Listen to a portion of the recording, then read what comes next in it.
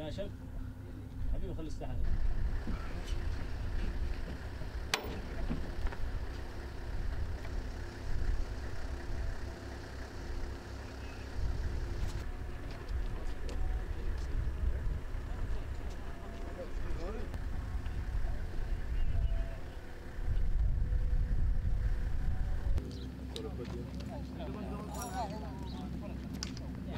أهلا وسهلا بالجميع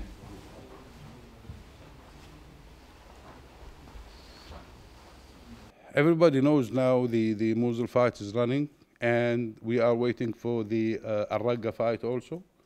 Uh, some of the fighters from uh, Al Mosul was pushing uh, up to the north to the Al Qaim and uh, Al Bukamal. We are expecting some of them to come to Jordan, to the southern part of Syria.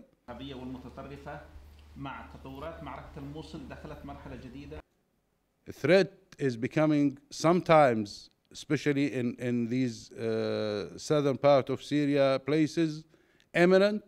So we have to deal with that threat at the same time in both in Hudr Yarmouk and the uh, eastern part of Daraa. Yes, we are uh, part of the, the uh, international coalition against the ISIS or, or Daesh.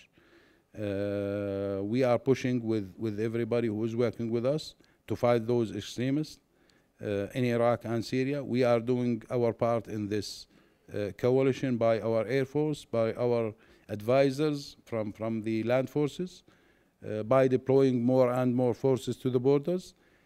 Even securing the borders is part of the, the job with the coalition because we are securing not just Jordan but the whole region.